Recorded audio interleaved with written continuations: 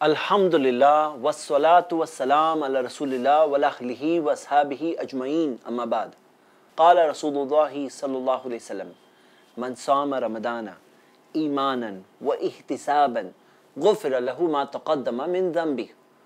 رواہ بخاری، رب اشرح لی صدری، ویسر لی امری، واحلل عقدۃ من لسانی یفقهوا قولی. میرے بھائیوں اور بہنوں، میں آپ سب کا استقبال کرتا ہوں ہمارے اس پروگرام رمضان کیسے گزارے میں۔ ہم آج انشاءاللہ اس بنیادی حدیث کے تعلق سے انشاءاللہ غور کریں گے اور بہت زیادہ انشاءاللہ سوچیں گے تاکہ رمضان کا اصل مقصد حاصل ہو جائے۔ ہم نے جیسا کہ دیکھا ہے، رمضان کا اصل مقصد ہے ہماری مغفرت حاصل کرنا، ہمارے لیے تقوی حاصل کرنا۔ اور اللہ کے رسول صلی اللہ علیہ وسلم نے فرمایا، میں نے حدیث ابھی پڑھی، صحیح بخاری میں حدیث ہے، من صوما رمضان، جو رمضان میں روزہ رکھے ایماناً، ایمان کے ساتھ وہ احتساباً، اور ثواب کی امید سے۔ غفر له ما تقدم من ذنبی۔ اس کے پچھلے گناہ معاف ہو جائیں گے۔ میرے بھائیوں بہنیں، یہاں پر غور کریں کہ جو پچھلے گناہ معاف ہونے کا معاملہ ہے، یہ صرف روزہ رکھے تو پچھلے گناہ معاف ہو جائیں گے۔ ایسا نہیں کہا۔ روزے کے ساتھ ساتھ اللہ کے رسول صلی اللہ علیہ وسلم نے کیا فرمایا؟ ایماناً و احتساباً۔ ایمان کے ساتھ اور ثواب کی امید کے ساتھ۔ تو میرے بھائیوں امی بہنیں، ہم سب جب چاہتے ہیں کہ رمضان کے اندر ہمیں اللہ کی مغفرت مل جائے، ہم سب جب چاہتے ہیں کہ وہ تمام فضائل و فوائد مل جائے بینیفٹس مل جائے، تو وہ حاصل کرنے کے لیے دونوں چیزیں ہونی ضروری ہیں۔ ایماناً و احتساباً۔ ایمان سے کیا مراد؟ ایمان سے مراد یہ ہے کہ ہم اللہ پر سچا ایمان رکھیں۔ کئی بار کیا ہوتا ہے کہ لوگوں کے اندر وہ سچا ایمان نہیں ہوتا۔ بہت سے لوگ ہوتے ہیں، بولتے ہیں ہاں سب لوگ رکھ رہے ہیں، میں بھی رکھ رہا ہوں۔ یہ مقصد نہیں ہونا چاہیے۔ ایماناً و احتساباً، ایمان کے اندر ہم اللہ کے ساتھ کسی کو شریک نہ کریں۔ قرآن کی آیت ہے سورہ نساء کی، سورہ نمبر چار، آیت نمبر اڑتالیس۔ ان اللہ لا یغفر ان یشرک بھی اللہ ہرگز معاف نہیں کرے گا کہ تم اللہ کے ساتھ کسی کو شریک کر دو۔ وَيَغْفِرُ مَا دُونَ ذَلِكَ لِمَنْ يَشَاءُ۔ اس کے سوا اور کوئی گناہ میں جسے چاہوں معاف کروں، اللہ نے کہا۔ وَمَنْ يُشْرِكْ بِاللَّهِ کیونکہ جو اللہ کے ساتھ کسی کو شریک کرتا ہے، فَقَدْ اِفْتَرَا اِثْمًا عَظِيمًا اس نے سب سے بڑا بہتان گڑا۔ میرے بھائیوں میں بہنیں، اللہ کے ساتھ کسی کو اگر ہم شریک کریں گے، تو یہ سب سے بڑا گناہ ہے۔ وہ رمضان کے روزے پھر ہمیں کام نہیں آئیں گے۔ اب دیکھیے کتنی بھاری مثال قرآن میں ہے۔ ایسی مثال ہے کہ جیسے رونگٹے کھڑے ہو جائیں۔ سورہ زمر میں، سورہ نمبر انچالیس، آیت نمبر پینسٹھ میں اللہ تعالیٰ نے فرمایا لئین اشرکتا اے نبی، اگر آپ اللہ کے ساتھ کسی کو شریک کر دو لَيَحْبَتَنَّ مَلُک، آپ کی سب نیکیاں برباد ہو جائے گی۔ اب آپ سوچئے، پیارے نبی محمد صلی اللہ علیہ وسلم، جتنا اخلاص، جتنی محنت، جتنی جد و جہد ہم دیکھتے ہیں کہ نماز کیسے پڑھتے تھے رات میں؟ حتی تورمت قدماہو، پاؤں سوج جانے تک۔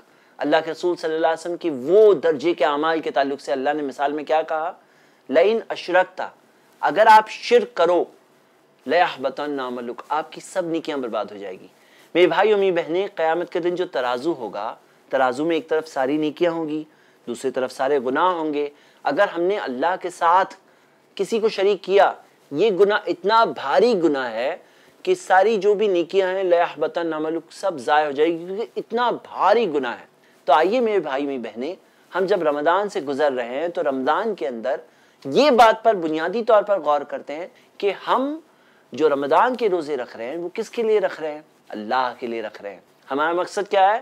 اللہ کے لیے رکھ رہے ہیں کیونکہ ہمارا ایمان ہے۔ اللہ نے آسمان و زمین کو بنایا۔ اللہ نے ہمیں بنایا۔ اللہ تعالیٰ نے اس کائنات کو بنایا۔ اللہ تعالیٰ نے ہمیں بنایا ہے اور ہم اللہ ہی کے پاس واپس جانے والے ہیں۔ میرے بھائی امی بہنیں، اس بات پر غور کریں کہ ہمیں اللہ کے ساتھ کبھی بھی، کسی بھی حال میں کسی کو بھی شریک نہیں کرنا چاہیے۔ کیونکہ آپ سوچو، زمین اللہ کی سارا رزق دیا ہوا اللہ کا، یہ جسم اللہ کا دیا ہوا، ایک ایک چھوٹی سے چھوٹی چیز اللہ کی دی ہوئی ہے۔ وَإِن تَعُدُّ نِعْمَتَ اللَّهِ لَا تُحْصُوهَا اللہ کی نعمتوں کو تم اگر گننا چاہو تو گن ہی نہیں سکتے۔ اتنی ساری نعمت اللہ کی ہے۔ اور اتنا سب کچھ اللہ کا دیا ہوا، سب کچھ اللہ کا دیا ہوا۔ اور پھر ہم اللہ کے علاوہ اوروں کی عبادت کریں، اللہ کے ساتھ اوروں کو شریک کریں۔ تو یہ کتنا بڑا گناہ ہے۔ لقمان نے اپنے بیٹے سے کیا کہا؟ سورہ لقمان میں آتا ہے، سورہ اکتیس آیت نمبر تیرہ۔ یا بنیا، اے میرے بیٹے لا تشرک باللہ، اللہ کے ساتھ کسی کو شریک مت کرنا۔ ان شرک اللہ ظلم نظیم، کیونکہ شرک تو سب سے بڑا ظلم ہے، سب سے بڑی زیادتی ہے زمین پر۔ جو اللہ کے ساتھ ہم کسی کو شریک کریں، یہ اتنا بڑا ظلم ہے کہ اللہ تعالیٰ نے کہا، میں یہ گناہ معاف نہیں کروں گا۔ ارے بھائی، ہمارے دنیا کے جو کوٹ ہوتے ہیں، دنیا کے جو قانون ہوتے ہیں، کوئی اگر دیش کے خلاف غداری کرے تو دیش چھوڑنے والا ہے۔ دیش کہے گا کہ ہاں پہلی بار غداری کیے، نہیں۔ تو یہاں پر یہ اللہ کے ساتھ غداری ہے کہ اللہ کا سب کچھ دیا ہوا ہے، ایک مالک ہم سب انسانوں کا۔ اور ہم اسی کے ساتھ دوسروں کو شریک کرے اللہ نے کہا میں یہ نہیں معاف کروں گا۔ تو میرے بھائی اور میری بہنیں، یہ رمضان کا مہینہ گزر رہا ہے، ہم اس موضوع کو کیوں دیکھ رہے ہیں؟ کیونکہ یہاں ایسے نہ ہو کہ ہم روزے تو رکھ رہے ہیں، قربانی تو اللہ کے لیے دے رہے ہیں، کھانا نہیں کھا رہے، پانی نہیں پی رہے ہیں ہم اللہ کے لیے تمام پابندیوں میں ہیں، لیکن ساتھ میں ہم اللہ کے ساتھ اوروں کو شریک کر رہے ہیں۔ تو ہمارا کیا ہوگا؟ سب نیکیاں ضائع ہو جائے گی۔ سورہ یونس کی آیت ہے، سورہ نمبر دس، آیت نمبر ایٹی تھری سے ایٹی سکس تک۔ یہ ایک جگہ ہے قرآن میں جہاں پر ان تین آیتوں میں اللہ تعالیٰ نے اپنے اٹھارہ نبیوں کا نام دیا۔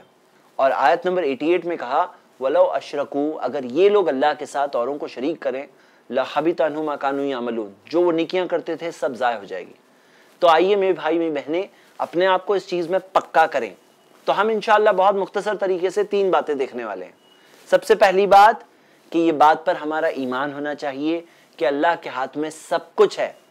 سب کچھ اللہ کے ہاتھ میں ہے، کیونکہ اللہ ہی ہمارا خالق ہے۔ اللہ ہی ہمارا مالک ہے۔ اللہ ہی آسمان و زمین کو چلانے والا ہے۔ اللہ ہی کے ہاتھ میں ہے زندگی دینا۔ اللہ ہی کے ہاتھ میں ہے موت دینا۔ اللہ کے ہاتھ میں ہے بیماری دینا۔ اللہ کے ہاتھ میں ہے شفا دینا۔ اللہ ہی کے ہاتھ میں ہے رزق دینا۔ اللہ ہی کے ہاتھ میں اولاد دینا۔ اللہ کے ہاتھ میں تمام کی تمام چیزیں ہیں کیونکہ اللہ رب العالمین ہے۔ الحمدللہ رب العالمین۔ ساری تعریف اللہ کے لیے جو سارے جہانوں کا رب ہے۔ ہوتا کیا ہے دنیاوی چیزوں میں کہ کوئی ایک کمپنی ہے جس نے کوئی چیز بنائی؟ ایک مثال لیتے ہیں۔ جیسے مثال کے طور پہ موبائل۔ اب یہ ایک کمپنی نے بنایا، لیکن میں اس کا مالک ہوں۔ اب اگر مان لیجیے کہ یہ فون رو رہا ہے، میں نے اگر اس کا فون کا خیال نہیں رکھا، اس کا حق ادا نہیں کیا، تو کیا بنانے والی کمپنی اس فون کے لیے کچھ کر سکتی ہے؟ نہیں کر سکتی، کیونکہ انہوں نے بنایا اور بیچ دیا۔ اب میں اس کا مالک ہوں۔ وہ مالک نہیں ہے، وہ بنا ہے۔ لیکن مالک میں ہوں۔ اب میں اگر صحیح سے استعمال نہیں کر رہا ہوں تو بنانے والا کچھ نہیں کر سکتا۔ اللہ تعالیٰ نے ایسا نہیں کیا۔ اللہ ہی خالق ہے، اللہ ہی مالک ہے۔ بنانے والا بھی وہی ہے، اس نے بنا کر کسی اور کو مالک نہیں بنایا۔ وَالَّذِينَ تَدْعُونَ مِن دُونِهِ مَا يَمْلِكُونَ مِن قِتْمِير سورہ فاتر میں ہے کہ وہ جنہیں تم پکارتے ہو اللہ کے علاوہ وہ تو کھجور کے اندر جو بیج ہوتا ہے، بیج کے اوپر ایک چھلکا ہوتا ہے ٹرانسپیرنٹ کوئی ٹیسٹ نہیں ہوتا، کوئی اس کی قیمت نہیں ہوتی، کوئی ویلیو نہیں ہوتی۔ اللہ تعالیٰ نے کہا، اللہ کے علاوہ جنہیں تم پکارتے ہو، وہ ایسی چیز کے بھی مالک نہیں ہے تو میرے بھائی، میری بہنیں، ہمیں ماننا ہے اللہ ہی خالق ہے، اللہ ہی مالک ہے۔ قرآن میں آتا ہے نا بار بار، للہ ما فی السماواتی و ما فی الارض۔ اللہ ہی کا ہے جو کچھ آسمان میں ہے، جو کچھ زمین میں ہے۔ آسمان و زمین میں جو کچھ ہے، وہ کس کا ہے؟ کون مالک ہے؟ اللہ ہی مالک ہے۔ تو اللہ ہی خالق ہے، اللہ ہی مالک ہے، اللہ ہی چلانے والا ہے۔ جیسا اللہ تعالیٰ نے قرآن میں سورہ سجدہ میں کہا، سورہ بتیس آیت نمبر پانچ، یدبر الامر من السمائی الالارض آسمان سے زمین تک ہر چیز کی تدبیر اور پلاننگ صرف اللہ ہی کرتا ہے۔ تو سارا پلان جو چلتا ہے نا، اللہ کا پلان چلتا ہے۔ اچھا بھی دیتا ہے، نعمت کے طور پر، آزمائش کے طور پر، تکلیفیں بھی دیتا ہے، مشکلوں کو بھی دیتا ہے اللہ تعالیٰ ہمیں پرکھنے کے لیے۔ قرآن میں سورہ یونس میں آتا ہے، سورہ دس، آیت نمبر ایک سو سات، وَإِن يَمْسَسْكَ اللَّهُ بِدُرٍ اگر اللہ تم تک کوئی تکلیف پہنچائے، فلا کاشف لہو اللہ ہوا اس تکلیف کو کوئی دور نہیں کر سکتا سوائے اللہ کے۔ تکلیف کو کوئی دور نہیں کر سکتا۔ وہیں یورد کا بھی خیرن اور اگر اللہ تمہارے لیے اچھا چاہے، فلا رود علی فضلی اس کی نعمت کو تم تک پہنچنے سے کوئی نہیں رک سکتا۔ تو اچھا برا کس کے ہاتھ میں ہے؟ اچھا اور برا اللہ کے ہاتھ میں ہے۔ ہم دیکھتے ہیں کہ بہت سے لوگ کئی دوسری چیزوں کو کہتے ہیں۔ کالی بلی راستہ کاٹ گئی تو بولتے ہیں ابھی تو کچھ غلط ہونے والا ہے۔ وہیں یورید کا بھی خیرین اگر اللہ تمہارے لیے اچھا چاہے، فلا رود دالی فضلی اس نعمت کو تم تک پہنچنے سے کوئی نہیں روک سکتا۔ کالی بلی روک سکتی ہے۔ کالی بلی روک سکتی ہے، کوئی نہیں روک سکتا۔ کئی لوگ بولتے ہیں، پتہ نہیں کس کا منہ دیکھ لیا، پورا دن خراب ہو گیا۔ اچھا برا کس کے ہاتھ میں ہے؟ اچھا برا اللہ کے ہاتھ میں ہے۔ کچھ لوگ مانتے ہیں کہ فینگ شوئی کی گھنٹی لگا دو، تو ٹنگ ٹنگ ٹنگ ٹنگ جو بچتی ہے، اس سے گڈ لک آتا ہے۔ بھئی اچھا برا کس کے ہاتھ میں ہے؟ کوئی گھنٹی کے ہاتھ میں نہیں ہے، کوئی گھوڑے کے نال کے ہاتھ میں نہیں ہے۔ ہم دیکھتے ہیں کہ سب سے بہترین پتھر جو ہے حجر اسود، اس بارے میں عمر رضی اللہ عنہ کہتے ہیں کہ، اے حجر، مجھے پتا ہے، تو نہ نقصان پہنچا سکتا ہے، نہ فائدہ پہنچا سکتا ہے میں صرف اسی لیے چومتا ہوں کیونکہ میں نے نبی صلی اللہ علیہ وسلم کو چومتے دیکھا۔ صحیح بخاری میں کتاب الحج میں ہے۔ تو میرے بھائیوں، میری بہنیں، ہمیں اپنے عقیدے اور ایمان کو اس چیز پہ کرنا چاہیے کہ اللہ کے ہاتھ میں سب کچھ ہے۔ ذرا سوچو، ایک گاڑی میں دو ڈرائیور ہو جائے تو کیا ہو جائے گا؟ صورت الانبیاء کی آیت ہے، سورہ اکیس، آیت نمبر بائیس۔ اللہ تعالیٰ نے فرمایا کہ لو کان فیہما آلہۃ اللہ لفسدتا۔ اگر آسمان اور زمین میں اللہ کے علاوہ اور معبود ہوتے، فساد ہو جاتا۔ اب گاڑی میں دو ڈرائیور ہو، ایک رائٹ سے کھینچے، ایک لیفٹ سے کھینچے، ایک ایکسیلیٹر دبائے اور ایک بریک دبائے، تو وہ گاڑی کا کیا ہونے والا ہے؟ جب ایک چھوٹی سی گاڑی کا یہ حال ہو جائے گا، تو اس کائنات میں اللہ کے علاوہ اور معبود ہوتے تو کیا ہو جاتا؟ تو جیسے کئی بار لوگ یہ بات کو پہچانتے نہیں ہیں۔ لوگ سمجھتے ہیں کہ جیسے ہمارے ہاتھ میں، آج انسان بہت گرور و گھمنڈ کر رہے ہیں۔ یہ جو ٹیکنالوجیکل ایڈوانسمنٹس ہم نے کیا ہے، یہ کس کی مرضی سے کیا ہے؟ یہ بھی اللہ کا احسان ہے۔ اللہ کی ہی مرضی سے ہم نے کیا۔ اور اللہ تعالیٰ نے ہمیں دیا ہے، ہمیں نوازا ہے، کئی نعمتوں سے نوازا ہے۔ تو آج انسان کچھ زیادہ ہی غرور و گھمنڈ کر رہے ہیں۔ سمجھ رہے ہیں کہ ہمارے ہاتھ میں ہے۔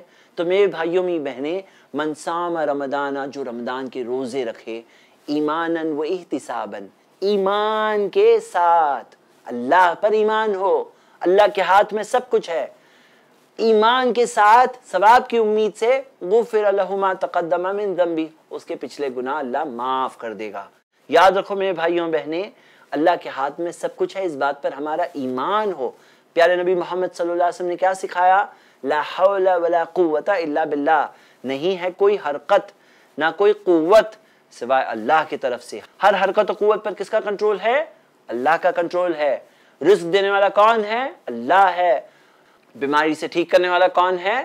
اللہ ہے۔ وَإِذَا مَرِضْتُ فَهُوَ يَشْفِينَ جب میں بیمار ہوتا ہوں تو اللہ مجھے شفا دیتا ہے۔ سورہ شعراء، سورہ چھبیس، آیت نمبر اسی۔ جیسے کئی بار ڈاکٹرز جب سب کوشش کرنے کے بعد ہار جاتے ہیں تو کہتے ہیں، اب اوپر والے سے مانگو۔ اب وہی بچا سکتا ہے۔ حالانکہ شروع سے بچانے والا اللہ ہی تھا، کوئی اور نہیں تھا۔ اللہ ہی کے ہاتھ میں سب کچھ ہے۔ تو جیسے ڈاکٹرز جب یہ کہتے ہیں کہ اب اوپر والا بچا سکتا ہے مطلب ان کا کہنے کا مطلب یہ ہے کہ اس سے پہلے ہم بچانے والے تھے، اب ہم ہار گئے، اب اوپر والا بچا سکتا ہے۔ حالانکہ ہم دیکھتے ہیں، بہت سے لوگ بہت دوائیں لیتے ہیں اللہ کی مرضی نہیں ہوتی، نہیں ٹھیک ہوتے ہیں۔ اور کچھ ایسے بھی لوگ ہوتے ہیں جو بغیر دوا کے بھی ٹھیک ہو جاتے ہیں۔ حالانکہ دوا لینا شریعت نے سکھایا ہے، یہ ذریعہ ہے، لیکن شفا دینے والا اللہ ہے۔ تو یہ ہو گئی پہلی بات۔ دوسری بات، اللہ کے برابر کوئی نہیں ہے، اللہ کے جیسا بھی کوئی نہیں ہے۔ اللہ تعالیٰ نے قرآن میں فرمایا سورہ اخلاص میں، ولم یک اللہ کفو نحد اللہ کا کوئی برابر اور کفو نہیں ہے۔ اور سورہ شرع سورہ نمبر 42 آیت نمبر 11 میں فرمایا، اللہ تعالیٰ نے لیسا کمثلی شیء، اللہ کے بمثل، اللہ کے جیسا کوئی نہیں ہے۔ اللہ کے برابر بھی نہیں ہے، اللہ کے جیسا بھی نہیں ہے۔ اللہ تعالیٰ اپنی تمام ناموں میں، اپنی تمام صفتوں میں واحد ہے، اکیلا ہے۔ اللہ کے ساتھ کوئی نہیں ہے۔ اور ہم دیکھتے ہیں کہ ہماری استطاعت کے اندر محدود استطاعت ہے ہمارے پاس۔ مثال کے طور پر ہم دیکھتے ہیں تو ایک لمٹ میں دیکھ سکتے ہیں۔ آپ کتنا دیکھ رہے ہو؟ جو لمٹ ہے سامنے وہی دیکھ رہے ہیں۔ سن سکتے ہو؟ لمٹ میں سن سکتے ہو۔ اگر یہ والیوم کو آف کر دیا جائے تو آپ مجھے نہیں سن سکتے۔ سوچو اگر ایسا ہو جائے کہ کوئی شخص کو دور، قریب سب جگہ سے آوازیں سنائی دینے لگے۔ پوری دنیا کی آوازیں سنائی دینے لگے۔ انسانوں کی، جانوروں کی، مشینوں کی، پرندوں کی سب کی آوازیں سنائی دینے لگے۔ کیا حال ہو جائے گا اس کا؟ کیا حال ہو جائے گا؟ دو منٹ میں ایک انسان پاگل ہو جائے گا۔ لیکن اللہ وہ ہے جو کروڑوں انسانوں کو سنتا ہے۔ سب کے سب انسان، ساڑھے سات سو کروڑ لوگ ہیں دنیا میں اب۔ سب کے سب اگر ایک وقت پر اللہ تعالیٰ کو پکارے، اللہ ساڑھے سات سو کروڑ لوگوں کی پکار سننے پر قادر ہے۔ کیونکہ وہ سمی ہے سب کچھ سننے والا ہے۔ تو اللہ کے نام ہو یا اللہ کی صفتیں ہیں، اللہ تعالیٰ اکیلا ہے۔ لا تاخذہ سنتوں ولا نوم۔ اسے نہ نیند، نہ اونگ۔ قابو میں کر سکتی ہے۔ وہ یت امو ولا یت امو وہ کھلانے والا ہے، اسے کھانے کی کوئی ضرورت نہیں۔ تو اللہ کی جتنے بھی صفتیں ہیں، یہ سب کے سب صرف اللہ کے اور جتنے بھی نام ہیں، آپ کو پتا ہے نا اللہ کے کتنے نام ہیں؟ الرحمن، الرحیم، الملک، القدوس، السلام، المومن، المحیمن۔ جو سارے کے سارے نام ہیں، یہ صفتیں بھی ہیں۔ مثال کے طور پر اللہ تعالیٰ کا نام ہے السمی سب کچھ سننے والا۔ یہ اللہ کی صفت بھی ہے کہ وہ سب کچھ سننے والا ہے۔ اللہ تعالیٰ کا نام ہے الرحیم، سب سے زیادہ رحم کرنے والا۔ یہ اللہ کی صفت بھی ہے کہ اللہ سب سے زیادہ رحم کرنے والا ہے۔ اب انسانوں میں کبھی کیسا ہوتا ہے کہ کسی کا نام ہے عادل بھائی۔ اب عادل کا مطلب ہوتا ہے انصاف کرنے والا۔ لیکن کوئی عادل بھائی ایسا بھی نکلتا ہے کہ بہت ظالم آدمی ہے۔ کیونکہ نام ہے عادل، لیکن ضروری نہیں وہ عادل رہے یا رحیم بھائی۔ ضروری نہیں رحم کرنے والے رہیں۔ انسانوں میں ایسا ہوتا ہے۔ لیکن اللہ کا ایسا نہیں ہے۔ اللہ تعالیٰ کے جو نام ہے وہ اللہ کی صفتیں بھی ہیں۔ اور سارے نام اور ساری صفتیں صرف اللہ کے لیے۔ ہمیں اللہ کے ساتھ کسی کو شریک نہیں کرنا ہے کہ ہم اللہ کی صفت بندوں کو دیں کہ یہ بندہ بھی اس چیز میں اللہ کے جیسا ہے۔ یہ بھی ہیں جو اللہ کی یہ صفت یہ بندی میں بھی ہے۔ کیونکہ اللہ نے قرآن میں کیا فرمایا؟ وَمَنْ أَصْدَقُ مِنَ اللَّهِ قِيلًا۔ اللہ سے سچی کس کی بات ہے؟ جب اللہ تعالیٰ نے کہا ہے کہ اس کے جیسا کوئی نہیں ہے، تو اللہ کسی کو بھی اپنے جیسا ہرگز نہیں بنائے گا۔ اللہ تعالیٰ کسی نیک شخص کو نوازے گا، ہو سکتا ہے جنت میں اعلیٰ مقام دے دے، لیکن اپنی کوئی صفت، اپنی کوئی خوبی اللہ تعالیٰ کبھی کسی بندے کو نہیں دے گا۔ تو ہمیں اللہ کی کوئی صفت بندے کو نہیں دینا چاہیے اور بندوں کی کوئی صفت اللہ کو نہیں دینا چاہیے۔ اللہ تعالیٰ واحد و اکیلا ہے، اس کے جیسا کوئی نہیں ہے۔ ہمیں یہ بات کو یاد رکھنا ہے کیونکہ ہمارے رمضان کے روزے ہیں۔ اب مان لیجیے روزہ تو رکھ رہا ہے، کوئی محنت تو کر رہا ہے، لیکن یہ مانتا ہے کہ اللہ کے علاوہ کسی اور کے ہاتھ میں ہے۔ تو یہ تو اللہ کے ساتھ شریک کیا آپ نے۔ اور اللہ کے ساتھ اگر ہم شریک کریں تو ہم اور آپ نہیں۔ اگر انبیاء کی مثال لیں تو اللہ تعالیٰ نے کہا، اگر وہ لوگ شرک کرتے، ان کی نیکیاں ضائع ہو جاتی۔ تو میرے بھائی میری بہنیں، اس میں ہمیں بچانا ہے۔ اب جیسے پانی کے ڈرم میں آدمی پانی بھر رہا ہے، لیکن نیچے ہول کھلا ہے، تو سارا پانی تو خالی ہو جائے گا نا۔ اب وہ کتنا بھی بھرے، رات بھر بھرے، لیکن صبح میں استعمال نہیں کر سکیں گے۔ تو ہم چاہتے ہیں کہ ہماری نیکیاں ہمیں کام آئیں۔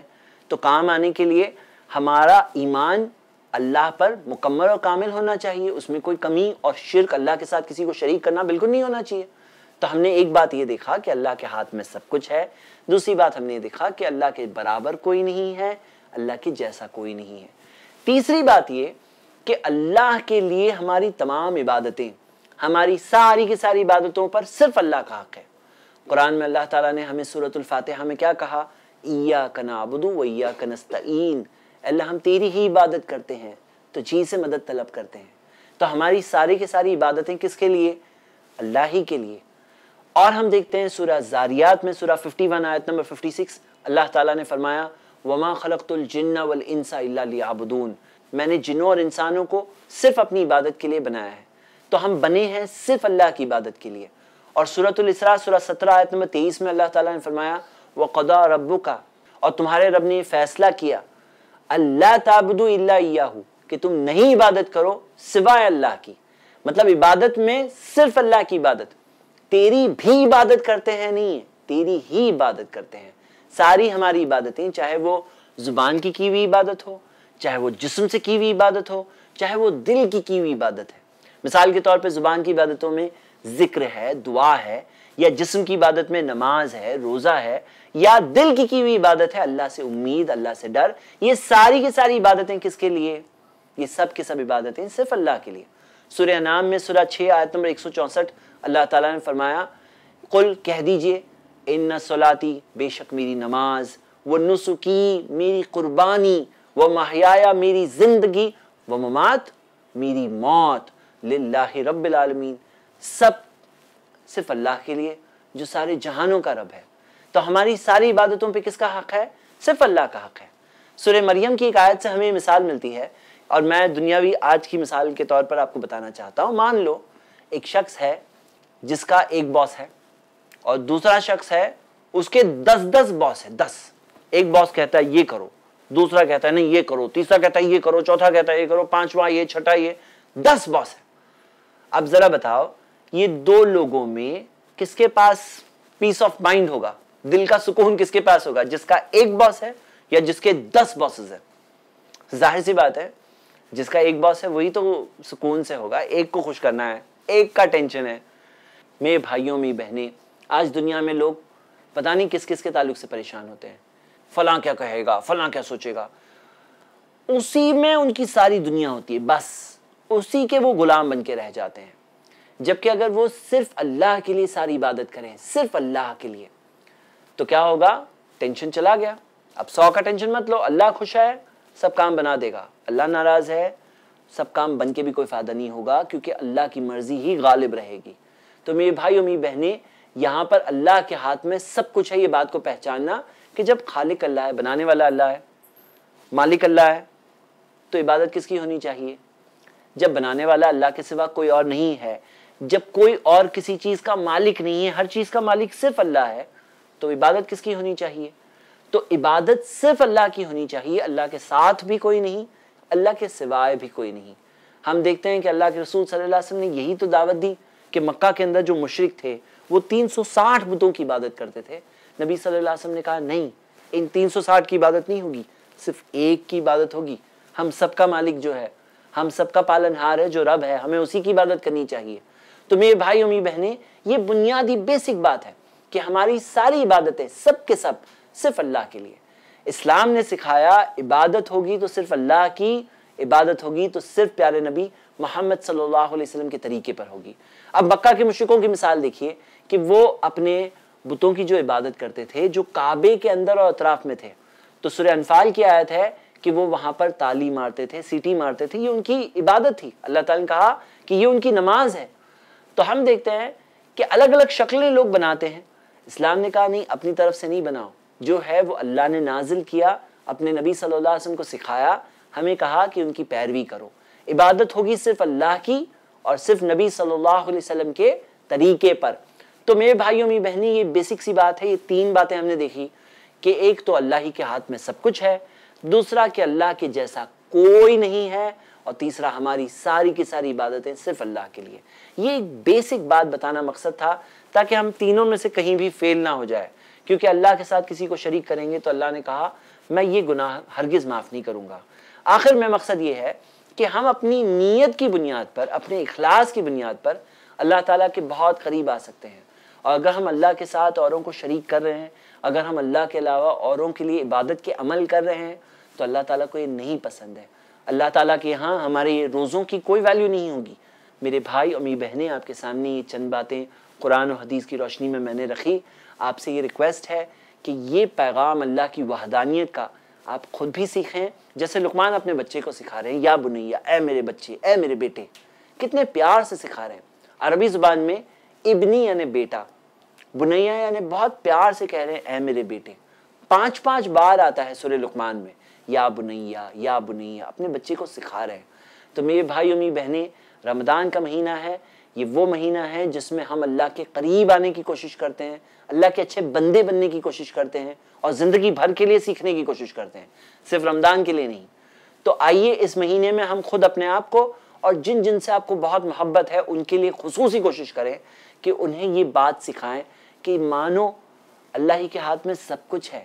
دنیا کے اندر بہت ٹینشن سالو ہو جاتے ہیں جب یہ بات مان لیتے ہیں۔ بہت سے لوگ جو الگ الگ غلامی میں ہوتے ہیں، وہ وہ غلامی سے آزاد ہو جاتے ہیں جب وہ پہچان لیتے ہیں کہ اللہ کے ہاتھ میں سب کچھ ہے۔ اللہ کے جیسا کوئی نہیں ہے۔ اور ہماری عبادتوں پر صرف اللہ کا حق ہے، کیونکہ اللہ کے علاوہ کوئی اور عبادت کے لائق ہی نہیں ہے۔ کوئی عبادت کے لائق ہی نہیں ہے سوائے اللہ کے، کیونکہ کوئی اور ہمارے لیے نہیں کرتا۔ جو اللہ کرتا ہے، اللہ ہی سب کچھ کرتا ہے ہمارے لیے۔ سب کچھ کرنے والا وہی ہے۔ تو میرے بھائی اور میری بہنیں ہم بھی سکھائے اپنے بچوں کو کہ بیٹا، اللہ کے ہاتھ میں سب کچھ ہے۔ اور لکمان تو مثال ہے ایک ایسے باپ کی جو اپنے بیٹے کو سکھا رہے۔ لیکن ہم دیکھتے ہیں کہ قرآن میں سورہ مریم میں ایک ایسے بیٹے کی بھی مثال ہے جو اپنے والد صاحب کو سکھا رہے ہیں۔ یا ابتی، اے میرے والد۔ عربی زبان میں ابی یعنی والد، ابتی یعنی بہت پیار سے کہہ رہے ہیں، اے میرے والد۔ کون ہیں وہ؟ وہ ہیں ابراہیم علیہ السلام۔ ابراہیم علیہ السلام اپنے والد صاحب کو سکھا رہے ہیں۔ پانچ بار وہاں بھی آتا ہے۔ یا ابتی یا ابتی، بہت پیار سے، بہت عزت سے وہ سکھا رہے ہیں اپنے والد صاحب کو۔ پتہ ہی چلا کہ بیٹے کو پتہ چلا ہے تو وہ اپنے والد صاحب کو بتائے گا۔ اور اگر والدین کو پتہ ہے تو اپنے بیٹے کو سکھائیں گے۔ یہ جو بات ہے اللہ کے بارے میں، یہ بات ایک انسان کے لیے ضروری ہے کہ وہ دوسرے انسان کو بتائے۔ میں آخر میں قرآن کی آیت پڑھ کے ختم کروں گا صورت الاسراء کی، سورہ نمبر سترہ کی آخری آیت۔ فقبر ہو تقبیرہ اللہ کی بڑائی بڑھ چڑھ کر بیان کرو۔ اللہ کی بڑائی ہمیں صرف ماننا نہیں ہے۔ ہمیں بیان کرنا ہے۔ اللہ سے دعا ہے۔ اللہ تعالی ہم سب کو اس کی عبادت کرنے کی توفیق دے، جیسی کی عبادت کا حق ہے۔ اللہ تعالی ہم سب کو تقوی سیکھنے کی توفیق دے۔ رمضان کے اصل مقصد مغفرت تک پہنچنے کی توفیق دے۔ اقول قولی هذا واستغفر اللہ لی ولکم ولسائر المسلمین من کل ذنب واستغفروا انه هو الغفور الرحیم۔ واخر الدعوانا ان الحمد رب العالمین۔